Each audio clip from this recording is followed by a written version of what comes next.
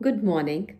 I am really grateful to Professor Rachel Bari for having invited me to read my poems for Prasaranga, Kuvempu University. Poetry is an expression which is innate and integral to all human beings, perhaps from times immemorial. When we look at scriptures, when we look at the older literature, epics, they were all written in poetry. The oral forms of expression, for example, folk songs, folk traditions, folklore, was also written in poetry. I guess poetry has been the first expression for human beings.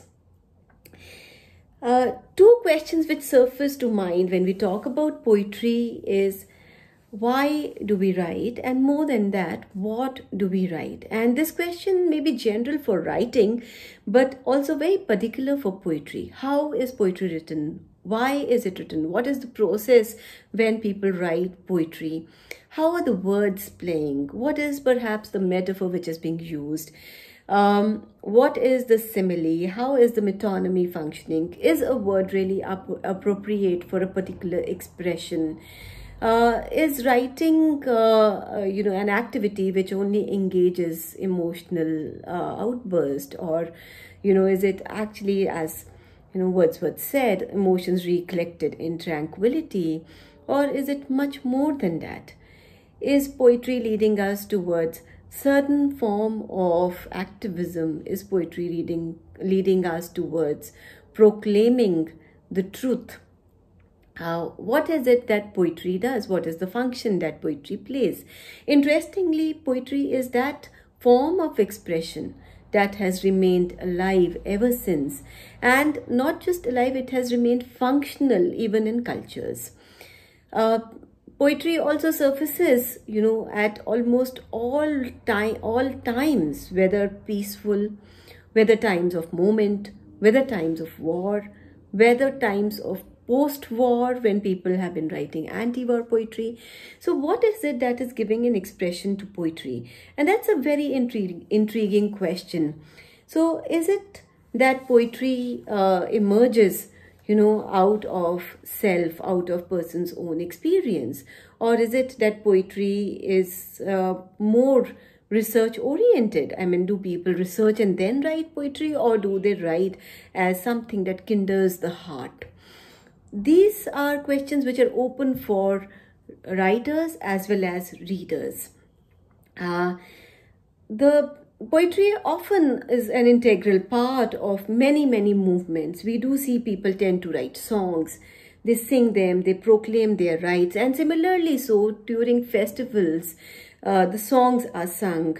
Um, people give voice to their expressions.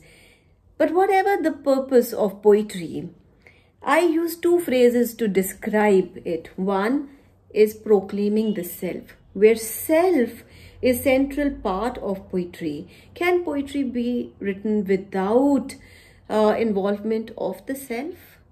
And the second uh, phrase that I use to describe poetry is creative imagination.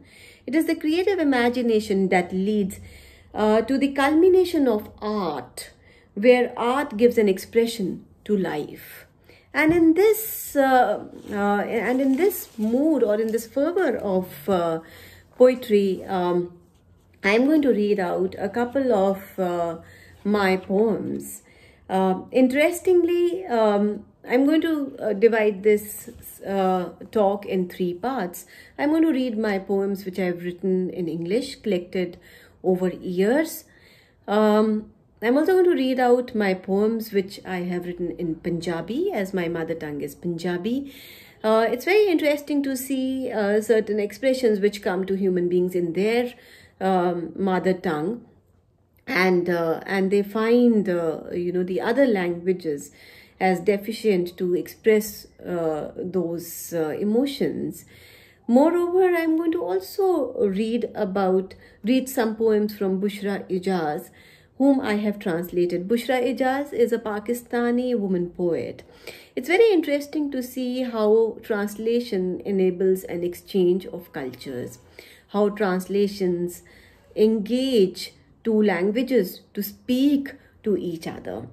And uh, in my whole experience, process of translating Bushra Ijaz, Bringing her into English from Punjabi has been extremely interesting because this woman who's a Pakistani poet uh, is belongs to a similar culture of Punjab that was separated during partition of India in 1947 and how there is a cultural similarity of uh, uh, of a woman who is in Pakistani Punjab and who gets translated by a woman from India Indian Punjab so uh, in fact languages enable uh, this coming together of uh, cultures which are in fact separated which in fact cannot uh, or which which uh, it's very difficult to uh, kind of uh, collect these cultures. So it is only translation that enables them to talk to each other to interact with each other poetry lends is its voice to people when a poet writes, a poet does not just write for one's own self. The poet also writes for others. Poets sometimes write for their own communities, for their own people. One of my poems, uh, which is titled Voice, does one such thing. Voice, the hot wind touches not the soul that tells itself that I am. I am a voice of truth, a voice that fears not, a voice against injustice, a voice for equality for humanity, a voice full of compassion, kind and heartfelt, liberated and free. I think this is what poetry does. Poetry enables people to raise the voice of truth. The second poem that I choose to read is called Metaphors and Conceits.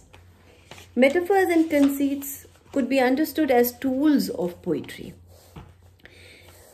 Some far-fetched symbols are brought together which lend meaning to each other and that's the role that metaphors and conceits play in poetry.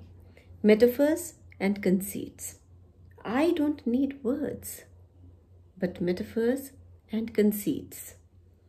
My love is the red rose, the thorns hurt the heart in separation, distanced in centuries, sinister night, and the haunting darkness of the caves. Loneliness, a barren rock in the heart of the sea, moments of life fleeting and the flying time. One needn't explain anything. The metaphor in itself engages with the meaning of the expression of heart. My next poem is about a woman, about a young girl called Sukanya, who is born out of her mother, who engages and empathizes with her mother, and this is a poem in which the mother and the daughter speak silently to each other. It's the last poem of the Sukanya series, and this poem is called Yet to be Born Again. The sun emitted fire. Sukanya's eyes opened to a sight of her mother circling around the house, performing course like a disciplined sire. Silent and speechless, she looked into her mother's eyes. The pearls shone brightly to meet the dullness of Sukanya's eyes. Unspoken, unsaid, both shared a silent secret. Just the look, healing wounds even without the physical tactile touch. Only mothers and daughters speak without words, silently talking to each other, sharing the common pain of body and heart. Sukanya lifted herself to find something moving inside her. Pregnant with a woeful revelation, an attempt to hold on to the truth. It was her mother folded back in a bean shaped sprouted seed inside her womb, yet to be born. Yet, Sukanya had conceived her mother to not to deliver the baby safe. Soon, a miscarriage, another death. So this lends the voice to a woman, a girl, amplifying her mother's pain. And how painful it could be to be born a woman, to be to live a woman, and then to be reborn a woman, and yet not to be born again. Another poem is also about a mother who talks about the woe of her daughter and how painful or how joyful could it be to see a mother when her daughter gets into puberty. This poem is more about accepting it, it's more about asserting being a woman, about a subject which is less talked about, which is kind of stigmatized. It's a prose poem and it's called Mother's Woe. Like the woes of lovers, mothers have their woes too. Mother of a daughter hides the painful secret in her heart forever. The secret of a little daughter, girl entering puberty. Since once had woken up to find herself smeared in blood. On a blood-stained bedsheet, shocked at the revelation. First thought was of having acquired some fatal disease. Later traumatized to learn that it was a monthly cycle. Then a little girl, now a mother, the experience repeats itself with her little daughter being prepared so that she is not traumatized as the mother was. This act of educating your daughter is not a bold act. It makes you weak every time you tell her that there is danger around her. Once, when she was five, she was taught about another touch, not of care, concern, help, or hug, but the bad, dangerous touch. Now, slouching into teenage, the mother is scared every minute, lest the fateful day, the day of revelation, the day of pain, the day of bleeding, growing up into a girl from a child and then a woman. How much she hates and detests that moment yet to come. But she is prepared, prepared to wash her underclothes stain free, prepared to teach her to use the sanitary pad, prepared to keep the secret of her dates, the cycle to her alone, prepared to bear the pain silently and never complain. My daughter, this has been my woe but you will be more ready than I was.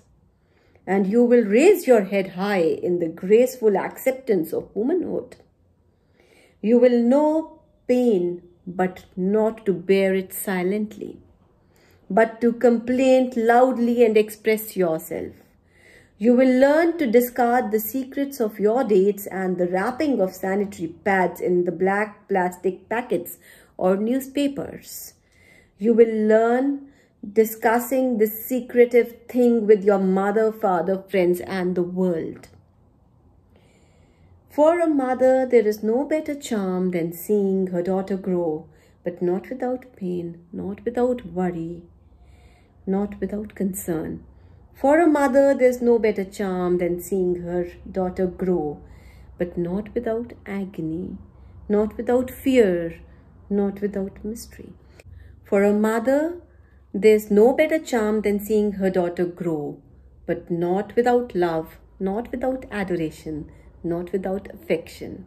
For a mother, there's no better charm than seeing her daughter grow, but not without respect, not without reverence, and definitely not without empathy. Similarly, writing in your own language is quite amplifying as it gives expression to the true feelings, which sometimes is impossible to do it in another language. I read out another poem for my daughter in Punjabi. This was after my daughter had, my 14 year old daughter had asked me if I wanted a girl or a boy. The poem is titled ਮੇਰੀ ਕੁੱਖ ਚੋਂ ਤੇਰੀ ਰਹਿਮਤ ਬਰਸੇ। ਅੱਜ ਮੇਰੀ 14 ਵਰਿਆਂ ਦੀ ਧੀ ਨੇ ਮੈਨੂੰ ਪੁੱਛਿਆ, ਮਾਂ, ਤੈਨੂੰ ਧੀ ਚਾਹੀਦੀ ਸੀ ਕਿ ਇੱਕ ਪੁੱਤ? ਮੈਂ ਆਪਣੀ ਛਾਤੀ ਚੌੜੀ ਕਰ ਸਰ ਉੱਚਾ ਉਠਾ ਇੱਕ ਲੰਬਾ ਸਾਹ ਲਿਆ ਤੇ ਬਾਬੇ ਅੱਗੇ ਸ਼ੁਕਰ ਦੇ ਲਫ਼ਜ਼ ਰੱਖੇ। ਕਿਉਂਕਿ ਅੱਜ ਮੈਂ ਆਪਣੀ ਧੀ ਦੀ ਗੁਨਾਹਗਾਰ ਸਾਬਿਤ ਨਹੀਂ ਹੋਈ। ਮੇਰੀ ਅਰਦਾਸ ਉਸ ਦੇ ਹੋਣ ਤੋਂ ਪਹਿਲਾਂ ਇਹੀ ਸੀ ਇਹ ਦਾਤੇ, ਮੈਨੂੰ ਇੱਕ ਨਿੱਕੀ ਜਿਹੀ ਜਿੰਦੜੀ ਦੇ ਦੇ। ਤੇਰੀ ਦਾਤ ਵਿੱਚ ਮੇਰੀ ਹੋਂਦ ਹੋਵੇ, ਤੇਰੇ ਨਾਲ ਜੁੜ ਜਾਏ ਤਾਂ ਕੁਦਰਤ ਵਿੱਚ ਸ਼ਾਮਿਲ ਹੋਏ। ਉਹ ਤੇਰੀ ਨਸਲ ਨੂੰ ਵਧਾਉਣ ਵਾਲੀ ਹੋਏ ਅਤੇ ਸੱਚੇ ਦਾ ਰੂਪ ਹੋਏ। ਉਸ ਦੀ ਹੋਂਦ ਦਾ ਇੱਕ ਮਕਸਦ ਹੋਏ, ਉਹ ਜ਼ੁਲਮ ਦੇ ਖਿਲਾਫ ਆਵਾਜ਼ ਬੁਲੰਦ ਕਰੇ। ਉਸ ਦੇ ਖੰਭ ਆਜ਼ਾਦ ਹੋਣ, ਉਹ ਖੁੱਲੇ ਆਸਮਾਨ ਵਿੱਚ ਉੱਚਾ ਉੱਡੇ ਤਾਂ ਧਰਤੀ ਤੇ ਖੁੱਲ ਕੇ ਨੱਚੇ। ਤੇਰਾ ਦਿੱਤਾ ਆਸਮਾਨ ਵੀ ਉਹਦਾ ਤੇ ਤੇਰੀ ਧਰਤੀ ਵੀ ਉਹਦੀ। ਮੇਰੀ ਕੁੱਖ ਚੋਂ ਤੇਰੀ ਰਹਿਮਤ ਵਰਸੇ। ਤਾਂ ਦਾਤੇ ਨੇ ਮੈਨੂੰ ਇੱਕ ਧੀ ਦਾਤ ਵਿੱਚ ਦਿੱਤੀ। ਮੇਰੀ ਬਛੜੀ ਮੈਂ ਤਾਂ ਧੀ ਹੀ ਚਾਹੀ ਸੀ। ਮੈਂ ਤਾਂ ਧੀ ਹੀ ਚਾਹੀ ਸੀ। My another poem in Punjabi is called Mukaddar, meaning destiny. ਇੱਕ ਮੁਕੱਦਰ ਇਹ ਕਿ ਬਾਰ-ਬਾਰ ਖਾਈਏ। ਇੱਕ ਮੁਕੱਦਰ ਇਹ ਕਿ ਖਾਲੀ ਭਾਂਡਿਆਂ ਨੂੰ ਫੋਲੀਏ। ਇੱਕ ਮੁਕੱਦਰ ਇਹ ਕਿ ਮੁਠੀ ਬੰਦ ਕਰ ਦਾਨ ਦਈਏ। ਇੱਕ ਮੁਕੱਦਰ ਇਹ ਕਿ ਹਥੇਲੀ ਖੋਲ ਦਾਨ ਲਈਏ। ਇੱਕ ਮੁਕੱਦਰ ਇਹ ਕਿ ਭੁੱਖ ਨਾ ਮੁਕਦੀ। ਇੱਕ ਮੁਕੱਦਰ ਇਹ ਕਿ ਦੋ ਦਾਣੇ ਭੁੱਖ ਮਿਟਾ ਦਿੰਦੇ।